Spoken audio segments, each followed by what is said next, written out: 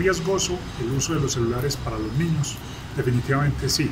Si uno le preguntara a una gran cantidad de padres, ¿es riesgoso dejar a su niño pasar sin, estar cogido de la mano una gran autopista?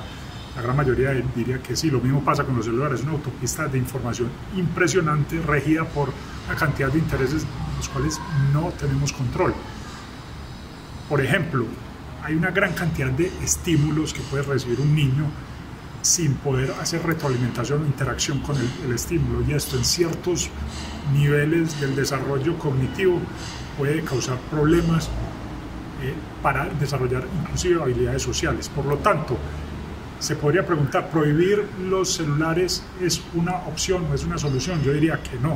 O sea, podría ser llamada una solución facilista. Creo que la solución debe ir más del lado de la educación, enseñando a padres, a niños, adolescentes a desarrollar competencias y habilidades que tienen que ver inclusive con pensamiento crítico, con el pensamiento social, con el nivel de interacción, con una cantidad de aspectos que son necesarios para protegerse debidamente en estos entornos de los cuales desconocemos gran cantidad de cosas que fluye a través de ellos.